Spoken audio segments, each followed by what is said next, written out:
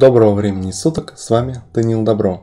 И сегодня я вам буду рассказывать и показывать, что, что такое программирование на Pascal. Мы будем программировать на Pascal. Я сейчас открою компилятор. Компилятор это программа, в которой мы будем вводить код. То есть данная программа позволяет нам запускать код. В данном случае код для Pascal. У меня тут уже открыт какой-то компилятор, я буду все делать в другом, вот в этом. И сейчас мы все, я вам расскажу. Также я замечу, что я, возможно, буду заниматься репетиторством по программированию, так что ссылки все будут в описании под видео. Ну что ж, давайте начнем, не будем затягивать и начнем программировать. Данная тут стандартная программа идет Hello World. Все-таки мы запишем write и запустим ее. F8 в данном случае. И у нас вот тут выводится Hello World. То есть это выводит у нас надпись. Теперь мы возьмем ее, скопируем и заменим Hello World на калькулятор. Мы будем делать с вами калькулятор. На русскую раскладку надо перейти. Каль. Да, Тор. Все, теперь запускаем. Теперь выводится у нас калькулятор.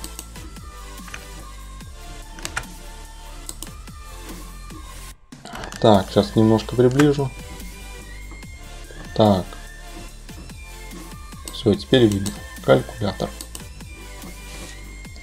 После всего этого мы еще раз скопируем Просто вам покажу, чем Bright отличается от Write LN. Вот видите, как у нас все вывелось. Все подряд. Теперь мы берем и пишем тут Write LN.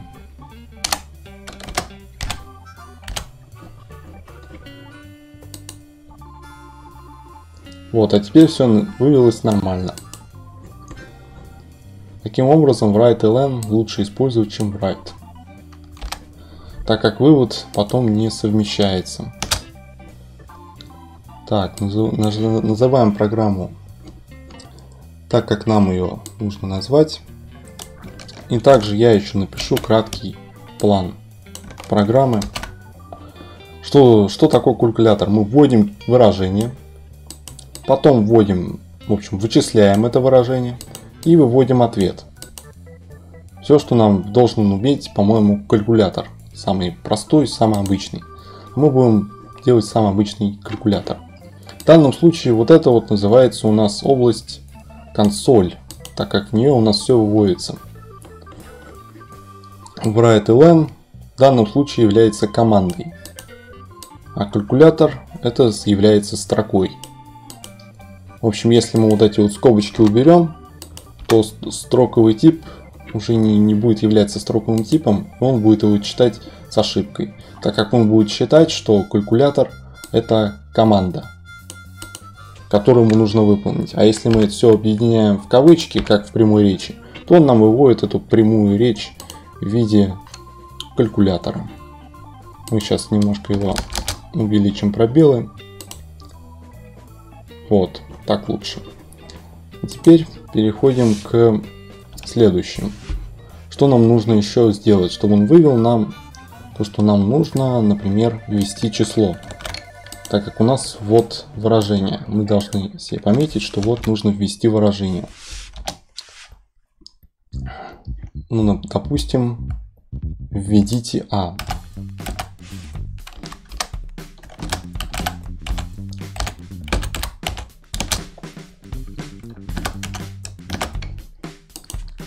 Так. И по идее после этого все должно высветиться. Вот, все высветилось. Теперь возьмем и введем выражение. Но для того, чтобы с этим А работать, нам нужно его прочитать. Мы сейчас можем, например, его уже ввести. Так, где мы его вводим? Так, может он сейчас пока что, ладно.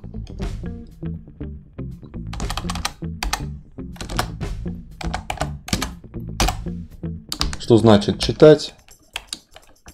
И тут мы уже пишем переменную А. Допустим, пусть она у нас будет русская. Да, посыпались ошибки. Почему? Потому что мы ее не указали. Тут нужно написать нам var. Так. А.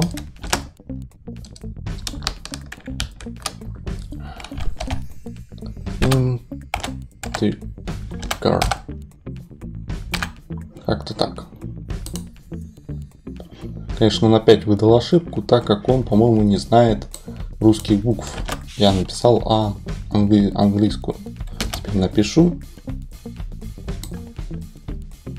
Так, английскую, английскую. А теперь пропустил букву. Он выдал ошибку, так как мы не ввели А. Положим А, у нас будет один.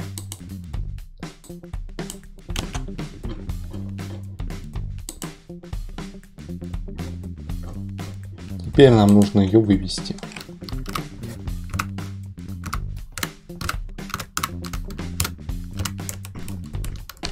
Тут мы пишем опять эту переменную А. Допустим, опять-таки добавим вот такую строку.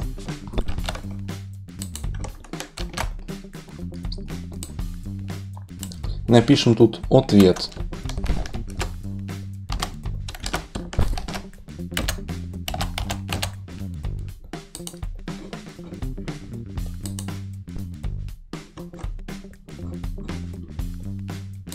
Все почему ошибка? Потому что надо поставить точку, запятую. Так, запятую.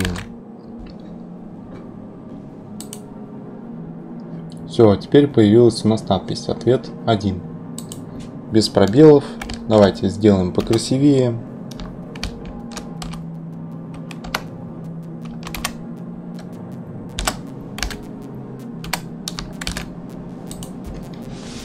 Так, а теперь все будет работать. Вот ответ 1. Калькулятор, видите А, ответ 1. Мы ввели А. Вот эти вот служебные слова end и begin, то есть begin начинать, начинать, end конец. Они присутствуют обязательно в программе Pascal. Их надо всегда писать без, например, слова end. Будет ошибка.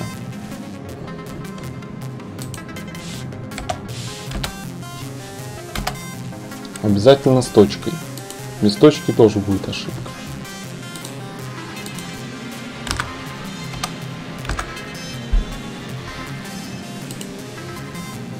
Все, теперь все работает. Также, например, begin, если мы уберем, то тоже будет, соответственно, ошибка. Потому что Паскаль все это считает как ошибку. Но с другой стороны, вы можете написать, например, так. И ошибок никаких нет. Мы можем, наверное, выделить вот эту вот часть ln. То, что в данном случае нам нужно использовать именно ln. И, кстати, тут тоже давайте напишем все-таки ln. И теперь все работает. То есть вы можете писать либо большими буквами, либо маленькими. Паскаль на это не реагирует компилятор. Компилятор, который компилирует этот код, занимается компиляцией кода и выводит вот эти вот выражения. Это называется компилятор. Так, и теперь мы переходим к вычислениям. Напишем свое первое вычисление в данном случае. Допустим, у нас пусть будет... Тут мы ответ же написали. Ответ у нас пусть будет уже c. Будем считать. Так, c еще добавим.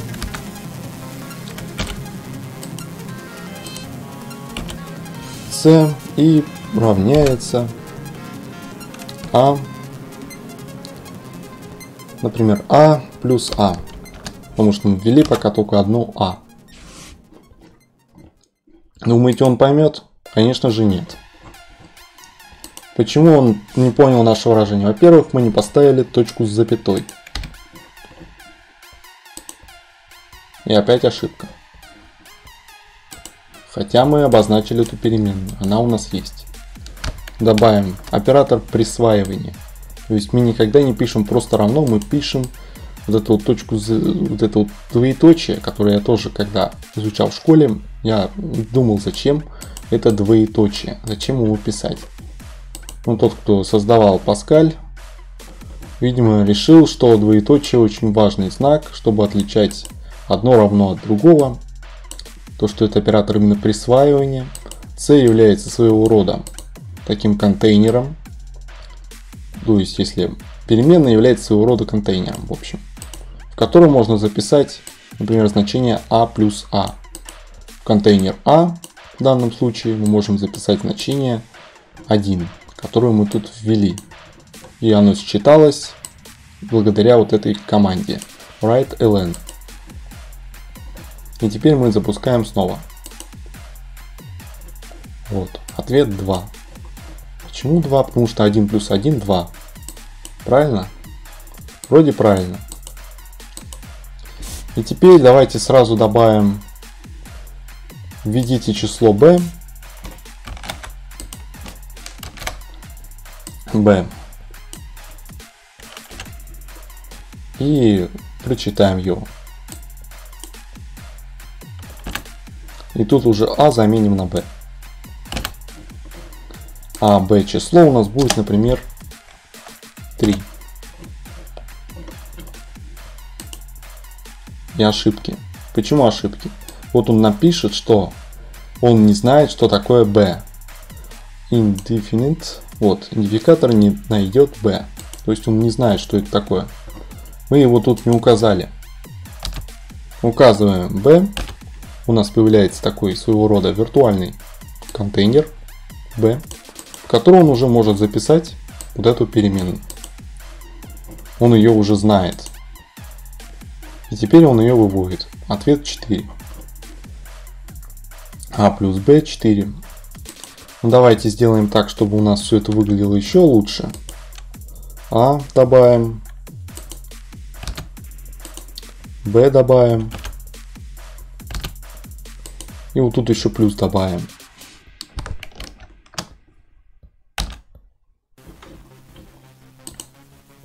Ну стоп. Плюс у нас является строкой. То есть прямой речью нам ее нужно передать как прямую речь чтобы он ее не исказил, не считал как переменную. Так как переменная это контейнер, в котором что-то лежит. И смотреть, что у нас получилось. 34. То есть тут нужно добавить равно. Тоже таким же образом ставим.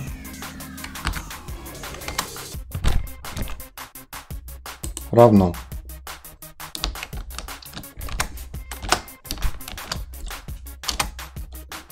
Все вот вывелось, зато все стало теперь красиво. 1 плюс 3 равно 4. Ну, предположим, мы хотим не просто сложить, а добавить уже другие знаки самостоятельно. Пишем опять write ln и читаем. Так, и тут уже введите плюс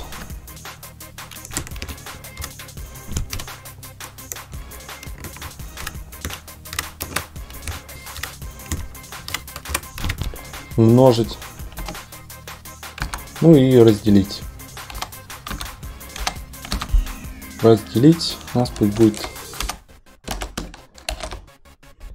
все это строка. И теперь мы ее считываем. И пусть это у нас будет переменная s. Давайте попробуем русскую букву назначить. Посмотрим, что будет.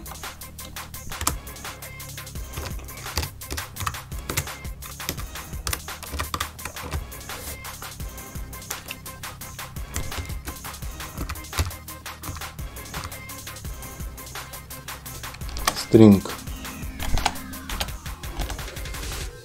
что переводится как строка.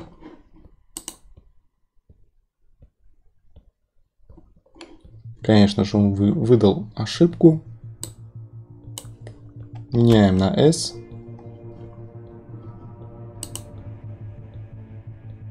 Все, теперь все работает. И теперь у нас почему-то появилось значение 0. Почему? А потому что нужно тут ввести именно наш знак. Плюс 2. Все, теперь он выводит все правильно. Но сразу замечу, что вот этот плюс, он вписался у нас в переменную s. И при этом мы ее нигде не задействовали. Вот в этом выражении. Что нам нужно сделать дальше? Дальше я буду использовать уже свою небольшую шпаргалку. Чтобы быстро это все не печатать сейчас вручную. Скопируем. Вставим, создадим константы. Вот они у нас. f1 string, строковая переменная. В общем, контейнер, который хранит строки. Вот типа таких. И тут у нас строка плюс. F2, F3, умножить, разделить. Все есть. Только еще одну добавочку сделаю. Да, как мы можем еще ввести, разделить вот таким знаком. И теперь давайте напишем условия, по которому он будет считать. Что же ему делать? Сложить или умножить? If это если. Например, у нас в данном случае s равняется. Вот как раз вот видите, у нас нет оператора присваивания, вот почему они отличаются. Сначала я этого не понимал. Так, и s равняется у нас f 1. Правильно? F1 string. Все правильно. То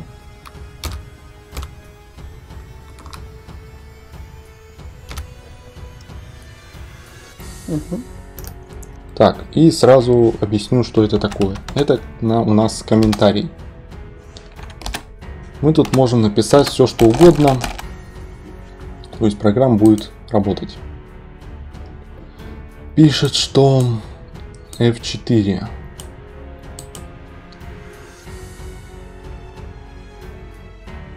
тринадцатая одиннадцатая строка тринадцатая одиннадцатая а у нас повторяются. Все понял. Поэтому он ошибку нам выдал. А еще он пишет что мы не использовали данные переменные. Ну, в общем, это не ошибка, вот, все он вывел нам. Правильно. Калькулятор, видите, А, мы ввели тут, в данном случае, плюсик, потом двоечку. И у нас получилось 1 плюс 2 равно 3. Мы, конечно, понимаем, что у нас тут может быть все что угодно, и поэтому напишем тут теперь вместо плюсика S.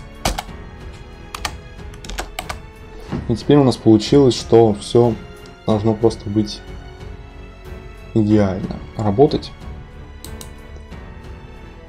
Все, теперь все работает. Все красиво. Я доделываю условия, то есть я не буду все сейчас писать вручную. У меня уже все сделано. Вот так вот давайте через пробел, чтобы было понятнее. И скопируем, еще добавим. Ну хотя пока не будем добавлять. Напишем тут умножить. Ага, вот. 1 умножить на 2 равняется 2. Все правильно. Получилось. И теперь нам осталось только добавить деление. Как добавить деление? Данном случае уже у нас f4. Тут мы напишем мод и run. Ошибок нет. Мы добавим именно деление. покажем, что нужно разделить калькулятору. И теперь он делит. 1 делить на 2 получается 1. Что-то не очень сходится. Давайте возьмем другое выражение. Пусть у нас будет 3 делить на 2. 3 делить на 2 будет 1. Уже похоже на правду. Как видите, он делит без то, что, ну, в общем, обрезает не целую часть. В общем, это деление мод. Но мы будем использовать нормальное деление сразу, которое будет нам показывать с, с то, что после у нас запятой он выдаст ошибку, потому что он то, что после запятой у нас будет, он не знает, как куда это впихнуть, потому что наш контейнер предназначен для строк integer. Нам надо все это поменять на реал, то есть реальные числа. И теперь все должно заработать. Но надпись у нас стала корявая. Все правильно посчиталось, но коряво. Показывается, отображается, мы пишем 4. Присваиваем, ну как бы 2. Тут у нас тоже вот так. Зачем мы это делаем? Для того, чтобы у нас вывелось 4 перед запятой и 2 после. А теперь все. Теперь все красиво. Можно, конечно, обрезать вообще вот эти вот не целую часть. Но мы, я думаю, не будем обрезать. Оставим так. Все-таки, я думаю, все десятичные дроби к тому моменту, как изучают программирование, знают. Хотя бы, что такие существуют. Не будем их пугаться. Так, и теперь что мы делаем? Мы уже написали, в общем-то, программу калькулятор. У нас он может умножать числа. Давайте проверим. Все умножает. Правильно. Также можно еще добавить вот с тем делением, которое у нас f5. Также берем, копируем условия. И то же самое у нас f5. Все, программа у нас полностью готова и работает. Мы сделали программу калькулятор, который может считать целые и нецелые числа. В общем, любые числа.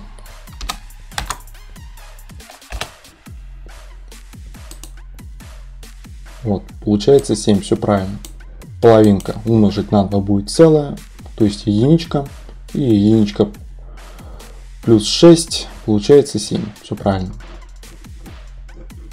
Таким образом у нас получилась довольно большая программа калькулятор. Но я скажу, что можно ее сделать еще короче. У меня есть готовый код. Сейчас я его вставлю и объясню, что это такое.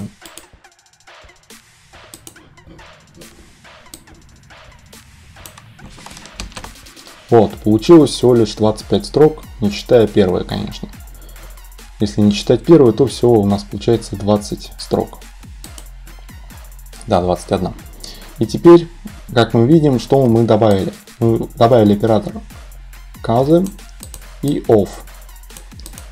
И s, мы просто вот это s будем сейчас сравнивать и вычисляем. Сравниваем и вычисляем.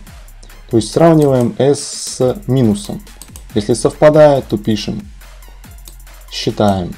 Если не совпадает, считаем по плюсу, если совпадает с плюсом. И так далее. При этом, как видите, количество переменных уменьшилось. А вот этот c вычисляется прям тут. а минус b, а плюс b и так далее. Теперь запустим. То же самое у нас. Так, выдала ошибку begin. А, у нас два раза программ написано.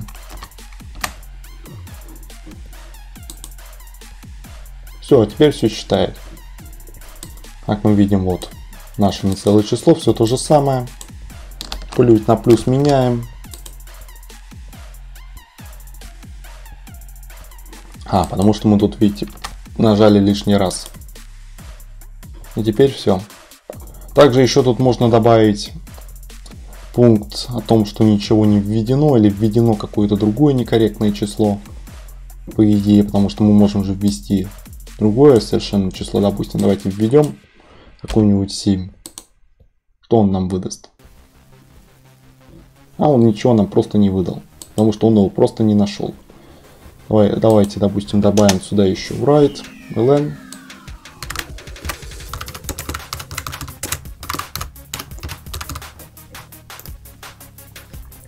Но почему-то он не хочет это читать. Может так? Все равно ошибка. Ну-ка, точку с запятой предлагает поставить.